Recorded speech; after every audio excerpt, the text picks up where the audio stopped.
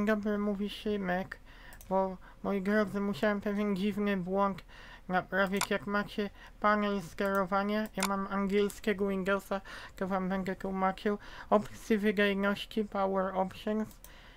Tutaj mi pokazywał komunikat.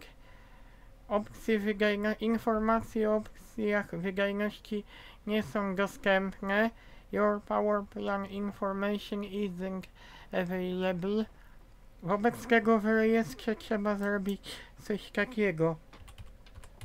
Już pokazuję, aby było szybko i konkretnie.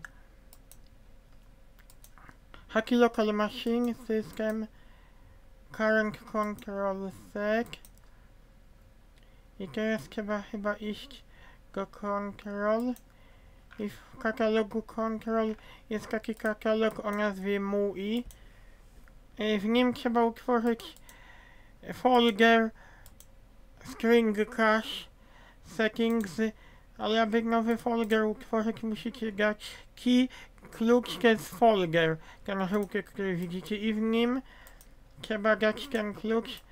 New dword 32-bitowa wartość. Nazywa się to tak string, string, string cache generation. Tutaj jest napisane jak to wygląda nie wiem, to się nie da powiększyć. Powinniście widzieć, bo ja nagrywam programem OBS Studio. Klikacie na to. Tutaj hex, hexadecimal zostawiacie, nie wybieracie tego. Nie wiem właśnie o co chodzi z tą drugą opcją, ale ja znalazłem w internecie, że oni mówili, że to trzeba dać. Wartość 38B i wasz e, plan wydajnościowy pojawi się w systemie z powrotem będziecie to mogli ustawić. Zmień zaawansowane opcje wydajności. Tutaj e, hybrydowe usypianie wyłączyłem. E, selektywne zawieszanie też wyłączyłem, tylko wam mówię, jak robicie kopię zapasową, macie problem z USB 3.0. Wyłączanie twardego dysku wyłączyłem, dając wartość 0. Jeszcze jedną rzecz muszę wam pokazać. Wybierz, co przyciski mm, mm, wydajności mają zrobić. Co przyciski power opcje wydajności mają zrobić. To wyłączacie też szybkie uruchamianie, aby system się wam szybko zamykał. A w usługach, jak piszecie services.msc nie chce mi się o tym mówić, bo mówiłem w poprzednich tutorialach.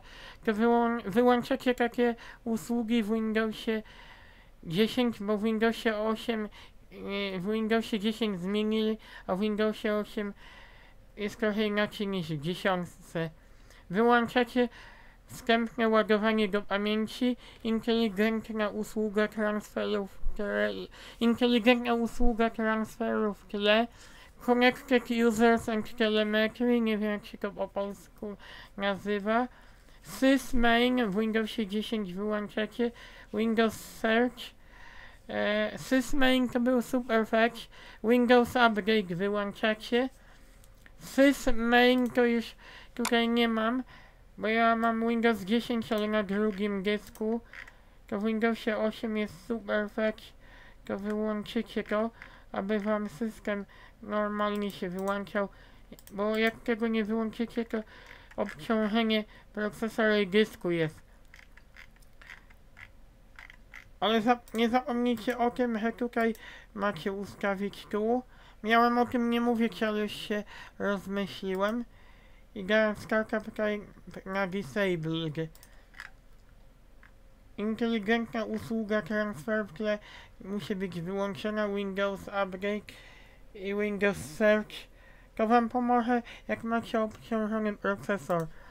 Dobra, życzę wam miłego dnia.